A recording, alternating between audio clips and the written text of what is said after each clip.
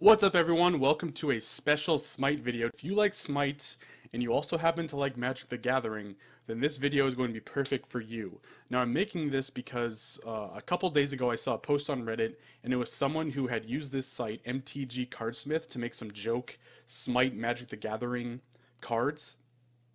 And it was really cool, like a lot of them were pretty funny. He had some joke mechanics on there, and I really like that idea. I love both Magic the Gathering and Smite, even though I haven't played Magic in a while. But uh, I grew up playing Magic, and you know, Smite is something that I've been playing for the last couple years.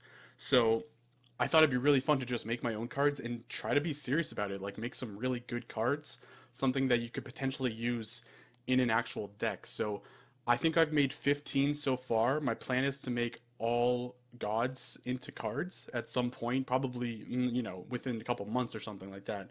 Um, and I was also thinking it would be cool to do take some of the items and turn those into artifacts, and you could also make like the maps into lands or something like that. So there's a lot of possibilities. If you like both Magic the Gathering and Smite, this is definitely a video for you, and you can go to this site mtgcardsmith.com make your own account and you can make some Smite cards and it's pretty fun. I definitely have enjoyed doing it. So I'll just go through them and just share the, what I've made. So again, I've made up a lot of these mechanics, you know, some of these have existed, the mechanics have existed before, but you know, I, I kind of took the theme of each god and tried to translate that into like a Magic the Gathering mechanic. So this is Nuwa. I have her as multicolored, which makes sense because she has all the elements. So you can summon a clay minion, obviously. You can draw a card. And you can also, if you use a forest, uh, a, a red and a blue mana, you can return up to three cards from the battlefield to your hand. And each creature that you do must be different color. The, the reason you'd use that mechanic is if a, a creature you're attacking with or blocking with is about to die, you can instead pay the mana and even though they block the damage, they will not die. They'll just return to your hand. So that's a pretty cool mechanic. Uh, again, if you're not familiar with Magic the Gathering, some of this might not make sense, but uh, I'll try to simplify it as much as I can. Janus is another card that I made recently. I think uh, I made yesterday. So I, of course, made him an artifact creature. Um, actually, before we do that, I'll go over kind of how the cards are set up. So um, when you make the card, of course, you can make your own title, you make your own mana cost.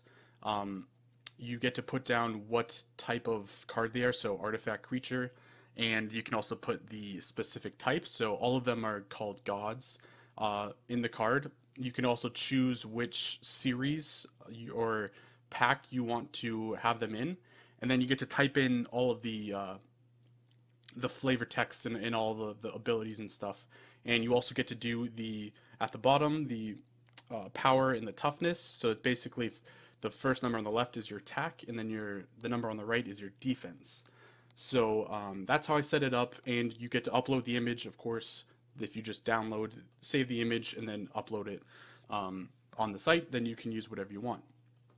So Janus is very much into again his theme, as I may try to make most of the cards that way. So you can pay as much mana as you want, and for each mana that you pay, you get to put one creature you control onto Janus's portal. Now Janus's portal I made as a different card, and when Janus comes to the battlefield, you also summon his portal, and so you can pay mana to put creatures on the portal, and when they are, they're in exile, which basically means that they cannot be interacted with by your opponent. Your opponent cannot destroy them, they cannot attack them, they're basically out of the game.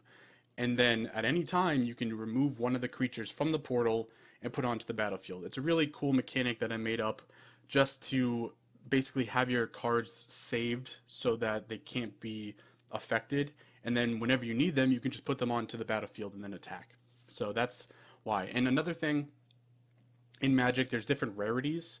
Common cards are usually not very good, but it goes up to common, uncommon, rare, and then mythic rare. All of these are mythic rare cards, which means that they're going to be very, very strong.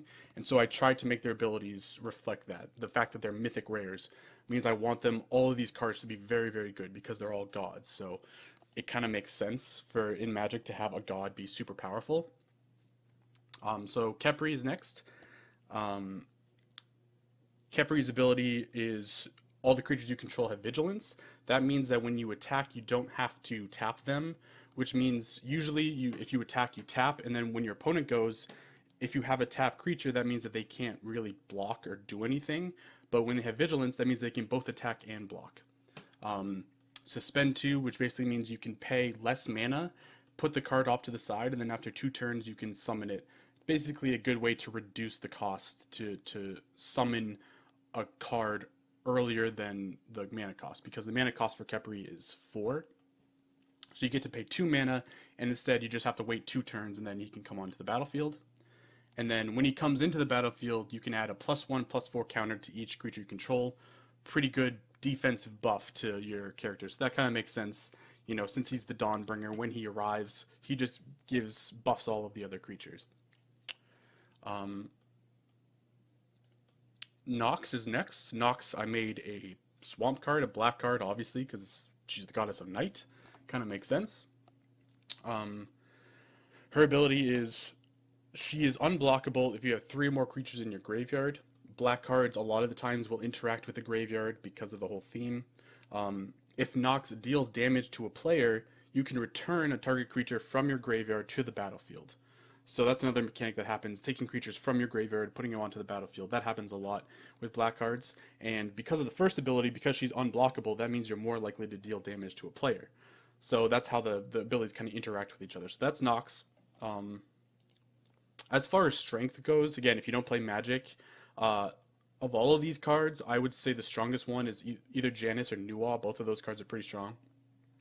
Nox is, is okay she's pretty strong. Like again, because she's mythic rare, she's going to be strong. Is she the strongest card that I made? Probably not. Um, the next card is extremely strong. This one's probably broken actually. Um, and again, I'm not, you know, I don't know everything about Magic. So some of these abilities might be completely broken. This one seems very strong. So he has haste, which means that he doesn't have summoning sickness. So if you played Hearthstone, you know, you if you summon a creature that can't attack first turn, it's the same thing in Magic. Um, you can pay one red and you summon a 2-1 artifact. Now you can activate that ability as many times as you want. So if you have like 10 reds, you could summon 10 turrets. So that could actually be pretty broken. But again, he's a mythic rare, so they're supposed to be really good. It's like having a legendary creature in Hearthstone. You know, they're all really good. Um, and then when he enters the battlefield, deal 5 damage to target creature or player. That's just to kind of go with his theme. His ultimate is like in Smite, it's a huge damage ability, so I figured I'd try to put that into his card too. So that's Vulcan, pretty cool. He's a red creature. Poseidon is next. This is one of my favorite cards, obviously, because you get to summon a Kraken. So when he enters the battlefield, you scry four. That basically means you get to look at the top cards in your library and decide if you want them or not. Um, you can pay three blues and put a 7-7 Kraken creature with haste onto the battlefield until end of turn. So you get to summon it for one turn, do seven damage if you want. Um, basically just like his ultimate and smite. So he's pretty cool, very fun card.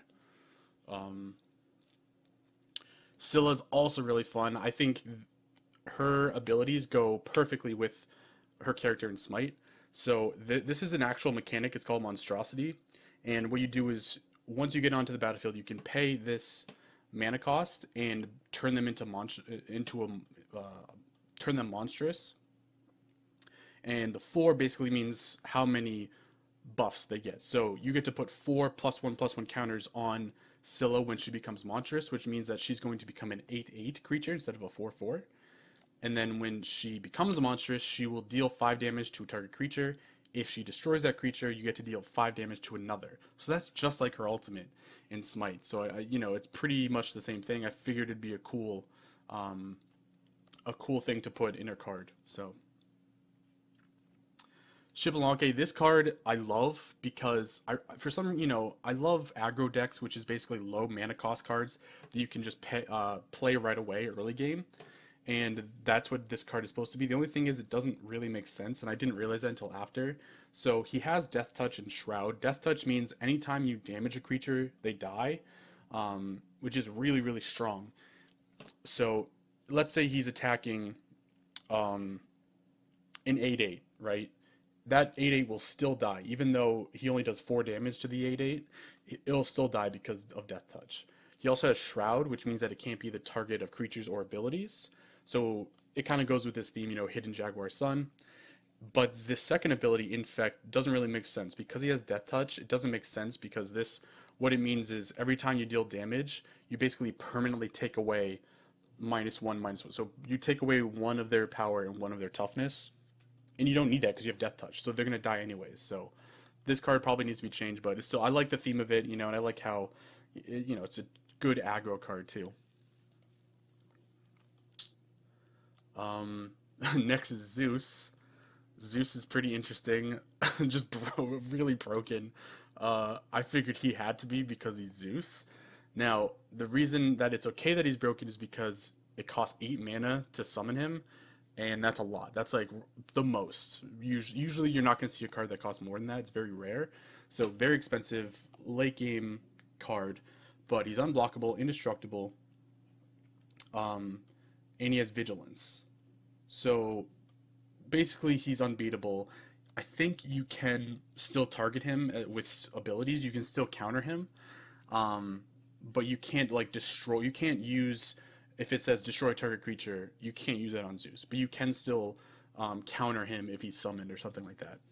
Um, and again, vigilance means that when he attacks in turn, the next turn he can block. So he can both attack and block in within two turns. His ability is you pay three white mana and you deal three damage to each creature that your opponents control. If a creature is destroyed by this ability, you get to exile it, which again means it's removed from the game. So it's not in their graveyard, they can't bring it back from their graveyard, it's gone. You cannot get that creature back. If a creature is exiled this turn, you get to put two plus one plus one counters on Zeus. This is basically a game ending card. That's why I made it. It's if you get to the point where you have eight mana and you summon this card, you're probably gonna win because you get to just if let's say they have an aggro deck and you put this on, you're gonna deal three damage to a bunch of low health creatures. They're all gonna die, and then you get for each creature you get plus one plus one. So he could be you know a 30-30 at one point or whatever. Um, so yeah, this card's insane. Just the mana cost kind of makes it okay. Um, we have a couple left, and actually these four might be my four favorites. So, Ao Kuang, the Dragon King, I thought it was fitting to make him both a blue and a green creature since he kind of has both of those themes. Um, you get to play pay one blue, one green, and tap him, and destroy target creature cannot be regenerated. So this is basically his ultimate in Smite.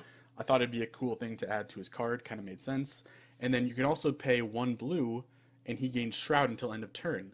So this is basically his um, uh, illusion ability, water illusion. Um, so you activate it, and he can't be attacked or targeted by spells or abilities until end of turn. So it's kind of like uh, stealth, if you know stealth in Hearthstone, pretty much the same mechanic. And he's a five-two, so he's a very, this is a very strong card. Like this would be kind of broken, just like Ao Kuang is in Smite. Uh, Geb is next. This is one of my favorite cards that I've made because I, you know, Geb is the icon for my channel, and I just like, I don't know, I just really like the abilities. So you get to pay one green and regenerate target creature. So that means that if you attack or block with a creature and it gets someone else blocks it, or let's say someone else is attacking you block with the creature, what you can do is pay that mana, and it basically regenerates all of their their health so the creature doesn't die. So you could, an eight, let's say an eight eight is is attacking, and you block it with a one one. You after you block with it, you can pay the one, regenerate the one one's health, and it stays on the battlefield. So the fact that you have one card that you can use to regenerate any creature is actually pretty strong. Usually this ability is something that is just on a single creature, so that makes this very strong. You can regenerate literally any creature that you have on the battlefield. Um, and then the second part of this card is when Geb attacks, you get to choose a creature, and that creature will gain the protection from the color of your choice until end of turn. So you can make, you know, one big creature that you have, or one creature you really want to use, um, just invulnerable to whatever you're playing against. So it's a very good defensive card. You can use it in a lot of different situations. I really like this one a lot. Um, of course, I made these, so I'm a little biased, but Uh, you know, it's fun. Also, I didn't mention this before. If you saw the flavor text, I have like voice lines for a lot of different cards. If I had too much text, I may have not put some flavor texts for some of the cards. But see, I have the Earth moves for Geb. I have some other ones for other gods too. So um, that's Geb. I think I have a couple more. Fafnir, this is one of my favorite cards. I love this card. It's another card where you can become monstrous because Scylla can transform uh, in her ultimate and so can Fafnir, so I thought it made sense to have this mechanic for both of those cards. So he has Monstrosity 6. You have to pay 6 mana and then you get 6 plus 1 plus 1 counters. So he can become a 10 11 creature if you get a monstrous. Of course, he costs a lot of mana, he costs 7 mana, very expensive, and another reason because of that is the second part, which says if Fafnir is monstrous, you may cast all of your creatures for one mana. That is very, very strong and broken. Again, would this card be viable? Like, would I be? Would you be able to release this card? Probably not. I don't know. Again, I'm not really good at like balancing these things, but it kind of made sense because he's the Lord of Gold, you know, to be able to cast your creatures for super cheap. So, um, that's Fafnir. And then the last card I have for right now is Jing Wei.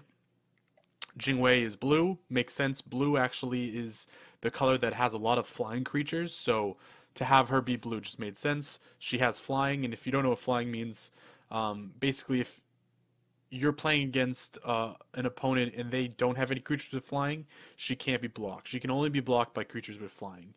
Um, you can also pay one blue mana and return her to your hand. This has to do with her mobility in Smite and also her ultimate. So again, it's one of those things where if you attack and someone blocks you and the damage that would be done to Jingwei could kill her, instead, before the damage goes through, you can pay the blue mana, return her to your hand, you still block the damage, but instead of Jingwei dying, she's just back in your hand now.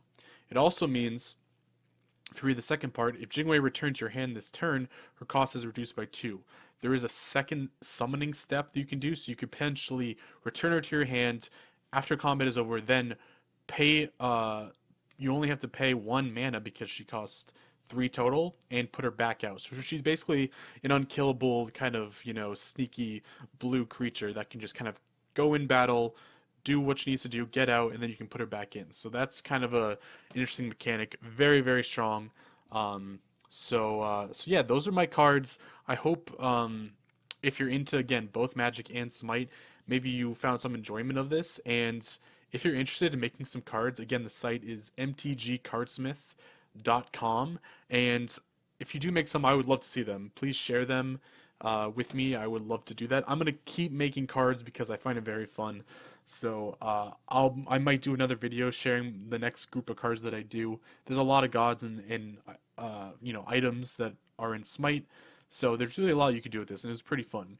So thank you so much for watching, um, and you know go out there and make some cards. Thanks so much, and uh, have a great day.